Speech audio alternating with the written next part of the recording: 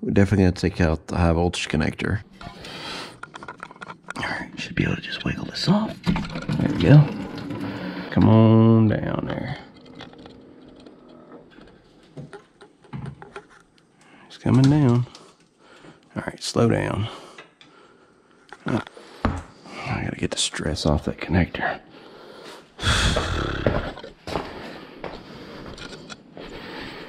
In order to take this the CV shaft out, it almost looks like I'm gonna have to take the bar links off. So I made a mistake early on here and should have removed the battery tray cover. By doing that would have made it a lot easier to remove the high voltage cable and coolant lines.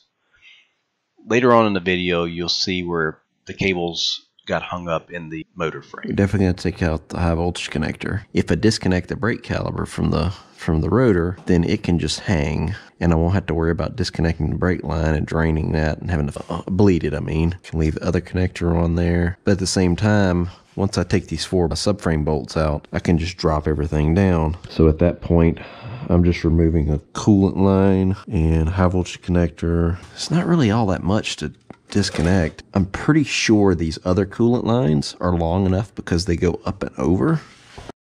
Right here I was looking to disconnect the coolant lines on the motor. One line hooks up above the heat exchanger. The other line is connected at the bottom near the high voltage connector. This line should be left on and removed from the battery tray connection. Let's go ahead and take these off.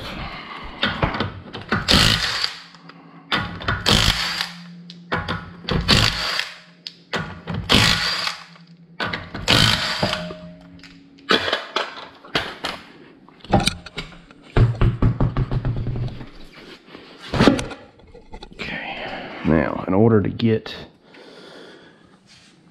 the caliper off, well, it's open, so it's going to be really easy. Looks like it's just the two bolts. Yep. E18.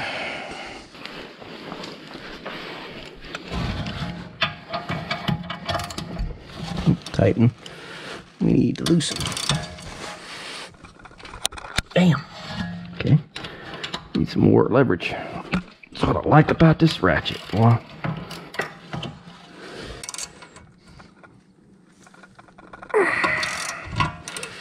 Yep. Oh, that locked me up though. Pick it up a little bit. All right. And then pull that off. All right, that's not bad. There we go. One might actually be a 15. And it is. Okay. So that defeats that purpose. Let's go ahead and break these loose. I'm not going to take them out, I'm just breaking them loose because we don't want shock to try to jump up or something. Jump, jump out. Just, just want it loose.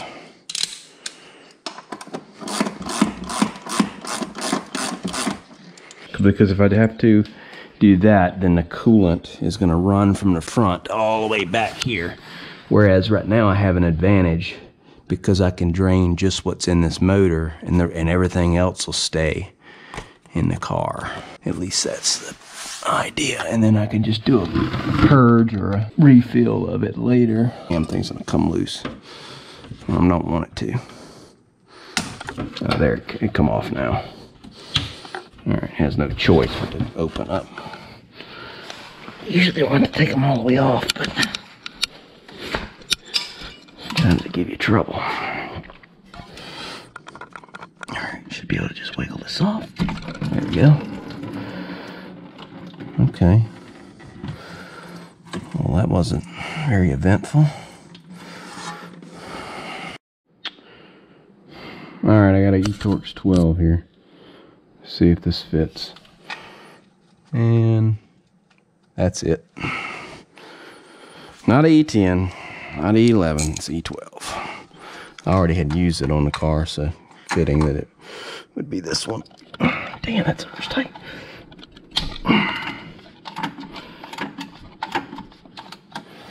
I say it's hard to get to. Feels like it's got Loctite on it or something. All right. got that stupid little freaking bolt out. Okay, we need to take this high voltage connector off, push the red tab up, slide it all the way up, and you take the black tab and you pry it up. It should unsnap and unplug the cable. Wiggle it. Ah. All right. High voltage disconnected. I need to put some over this. Though. I need to put some tape over the connector or something. Definitely don't need any contamination in either one of those ports. The next thing to do is disconnect these harnesses here. Where's that screwdriver? Alright, screwdriver. Okay, so we take, pop this little tab, push it, and unplug it. Okay.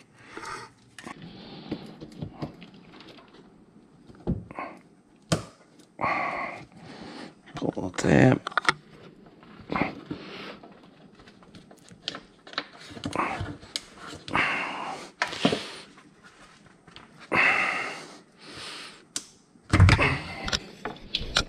Okay.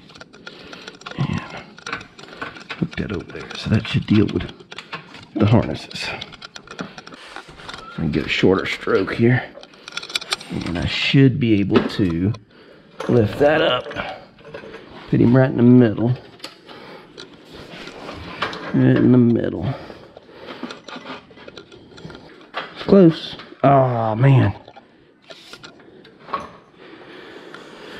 I need I need like a block of wood or something. Alright. I got two two by four blocks. We'll there.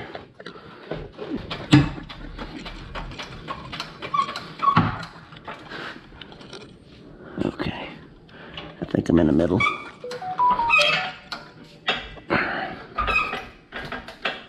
I got tension on it. Let me take the front two out.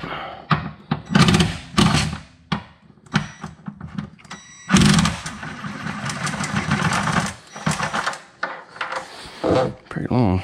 Okay.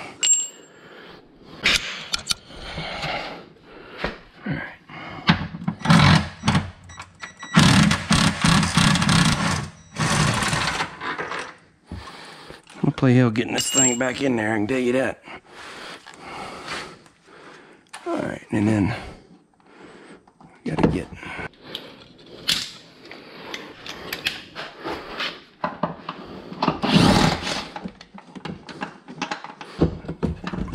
Oh, apparently they stay in there. Alright, whatever.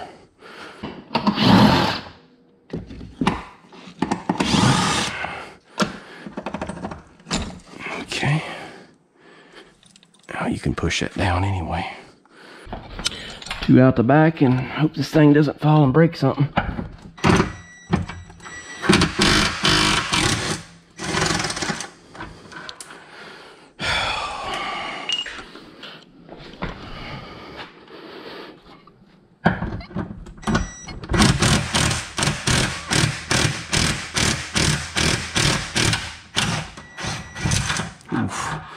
It's definitely free. It's all lopsided. All right, let me see if I can lower it down now. Come on down there. It's coming down. All right, slow down.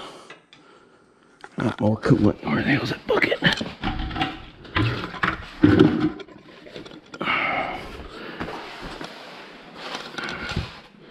I said, I don't know.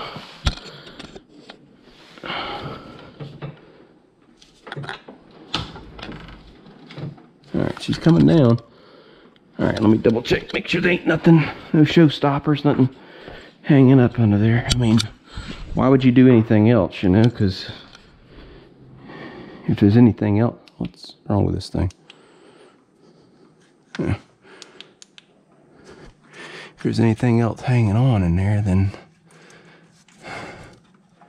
Oh, ground. Yep, there is a ground right here. What is this? 10 mil. It is holding me up. Yeah, that's nothing crazy. Little old thing. Is that attached to, or does that come out? Oh, it's a nut. All right. Is there one on the other side? All right. Now let's see. What else we got in there? All right, there's a coolant line at the top. Um, we're pretty much open. Hung up on there. All right, so these rubber boots just sit on there, so that's not that's not structural at all. Um, yeah, these are out the way. Those are down. Let me go check the other side. And I don't see a ground or anything over here. This is out the way. Um, like I say, the only thing is that coolant line, but it looks like as it goes down, that coolant line is going to extend and I'll be able to disconnect it on top. Okay, let me go ahead and let her down some more. I'm just gotta watch those, uh, ooh, not that fast. All right, I check that harness over here. Make sure it's coming out that hole. Hard to see. Get my hand back there. Uh, is it free? Yeah, it's free. Okay, looks free, so I should be able to just drop it down and roll it out. From the looks of it.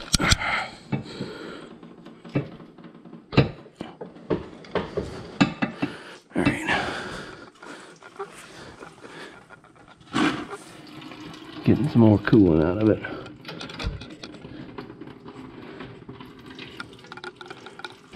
Acting like it's trying to it's trying to lay over for some reason. Like something still got it in the front over here.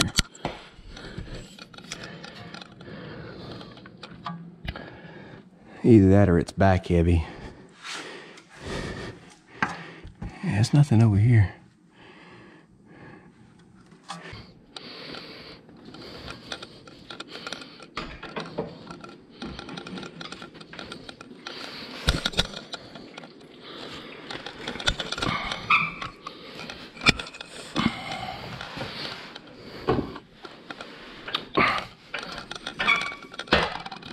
Come on now. Come on this way. They're like literally fixing to lay down on the damn thing. Alright, let's see one thing's for sure. I can get these out the way.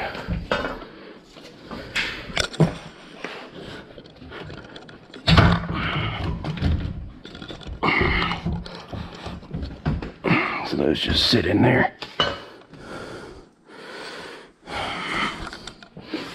Yeah, like I say, it's trying to come down. It's trying to lay down right here. But something is holding it in the front. Um, it's on a ledge. Oh, there it goes. Yeah, I got it off the ledge. now it's teetering that way. All right, I can let it completely down now. Kind of. Yeah, so those those dog legs were kind of up under there.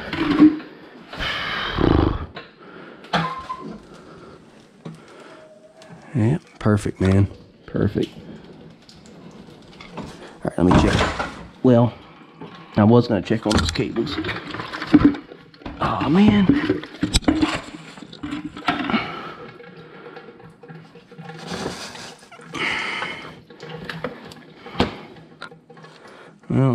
Coolant. I didn't want to go all over the freaking floor.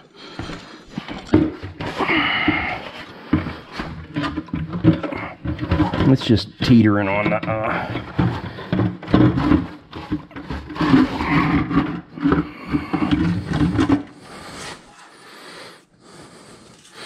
Did it literally go inside the thing? Oh my god. I just got coolant in the freaking high voltage connector.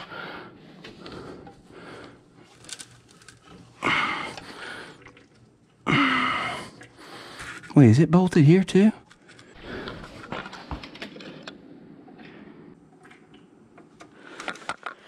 I need to pick it up.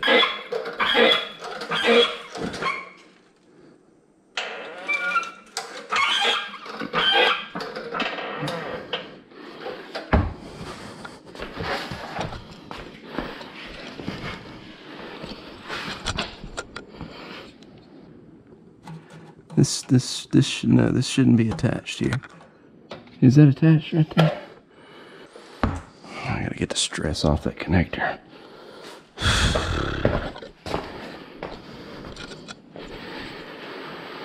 All right, I gotta turn y'all off. I gotta get under there.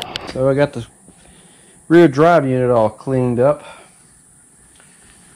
Now, in order to disassemble this thing, I'm looking at, in order to take this the CV shaft out, it almost looks like I'm gonna have to take the bar links off and remove the suspension in order to pull it. I'm kind of thinking though, if I remove the drive unit and rotate it up, I should get enough slack. I can just disconnect the shafts that way. You almost should be able to do that because this is a lot of work. I mean, it's not that difficult, but it is a lot of work to remove all these uh, links from spindle to remove the shaft. So I'm gonna try doing that first. And then if I can get some movement in it and I can pop those out, then I can just sit the drive unit over here out of the way and let those dangle. I can take the other one, drop it, you know, back in and plug them back in.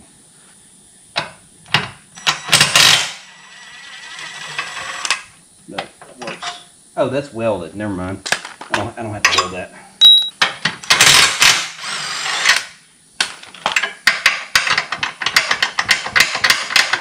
Not to mention, these are some little bitty thin plates holding that motor in. Just can't get in there. Yeah, there we go. That's a lot easier. Alright, long extension, can get it out of there. Now, it should be free. I mean, other than the shafts and where's that wiring harness? So one of them, very unique plug. Golly, why do these connectors have to be just so damn aggravating? Oh, there it goes. I gotta pull a little bit harder I want to. Okay. Now, this is the same as the one under the back seat that comes off of here. Huh. Okay. And then the only other thing is this ground, which I guess I could just take it off like that. Um, alright, so if I lift it up. Okay, there it goes. Alright, it's coming up. There we go. Oh, it's pretty heavy.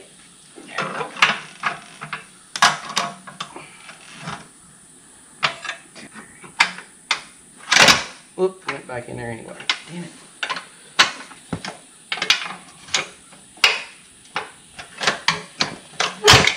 It fell back in that one again? Alright. Quit being a weasel. Ah, ow. Okay. Alright.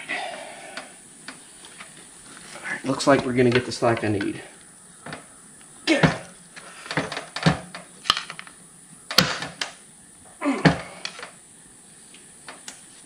Like I was talking about, it looks like it's definitely gonna get slack. Oh, there's the fluid coming out. Dadgummit, bad idea. Yeah, I didn't want to do that. Yeah, future Casey here. Unfortunately, my GoPro died while I was taking the motor out of the subframe, and I lost that footage. What ended up happening was I was able to remove the motor. Unfortunately, I didn't get to show you all the aftermath, but that's going to be in part three. So stay tuned, and you'll get to see everything when I release that video. Thanks for watching.